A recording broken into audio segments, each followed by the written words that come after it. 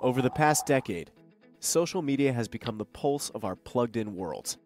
We spend hours browsing and contributing to social networks, blogs, and other services designed to help people express themselves and stay connected. And we don't do it just to pass the time. In the last year alone, ordinary people have harnessed the power of social media to start revolutions, rebuild countries, pick apart brands, and create marvelous products. The explosion of social media should come as no surprise. It is merely the newest, most effective enabler of the social interactions that have sustained us for years.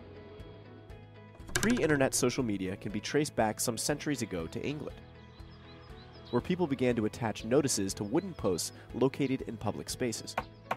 From this action came our modern sense of the word posting. Hundreds of years later, the post was digitized on bulletin board systems, which enabled computer geeks across the world to instantly exchange public messages and files over telephone lines. What bulletin board systems did for the post, GeoCities did for personal identity. And in 1995, widespread adoption of the internet allowed anyone with a dial up connection to have an online profile complete with dancing babies and word art.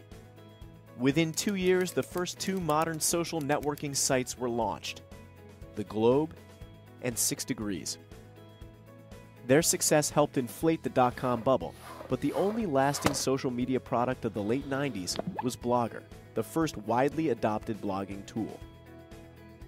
The real social media renaissance didn't come for three more years when a small dating site called Friendster launched, and within a few months courted 3 million hyper engaged users. Entrepreneurs and investors took notice, and many of the social media juggernauts that we know today LinkedIn, MySpace, Facebook, Digg, YouTube, and Twitter were all launched less than three years after Friendster's beta release. And now, in 2012, social media is an entire industry. The only way to excel at it both personally and professionally is to understand the inner workings and strategies behind the primary venues where content is shared. Learn about them on grovo.com.